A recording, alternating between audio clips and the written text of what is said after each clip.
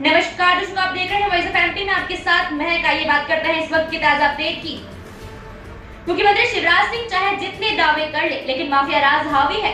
तिघरा के जंगल में पत्थर के अवैध उत्खनन तो रोकने पहुँचा वन अमला खुद ही घिर गया। अचानक झाड़ियों से गोलियाँ बरसने लगी। माफिया ने 20 मिनट तक रुक रुक कर गोलियाँ चलाई।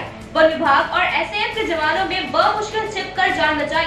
इस दौरान पत्थर, माफिया जेसीबी मशीन के साथ बंधक बने अपने साथी को भी छुड़ा ले गए। घटना गुरुवार, शुक्रवार दरमियानी रात डेढ़ बजे की है। बताया जा रहा है कि जवान से काबाइन छीन ली गई थी। बाद में वह घटनास्थल पर ही पड़ी मिल गई तो पुलिस ने राहत की सांस ली। आरोपियों के खिलाफ मामला दर्ज किया गया है। घाटीगांव सर्किल संजीव कुमार ने बताया कि रात को करीब एक बजे सूचना मिली थी कि तिगरा थाना क्षेत्र के लखनपुरा इलाके में खनन माफिया द्वारा पत्थर का अवैध खनन किया जा रहा है। सूचना पर रेंजर विकास मिश्रा के साथ ही तिगरा चौकी प्रभारी Sunil Xavier game range supervisor Shankar खलको के साथ ही वन विभाग का अमला निकला। साथ में एसएएफ का बल भी था। यह सभी लखनपुरा के जंगल में पहुँचे, जहाँ एक जेसीबी मशीन से पत्थर का उत्खनन करती मिला।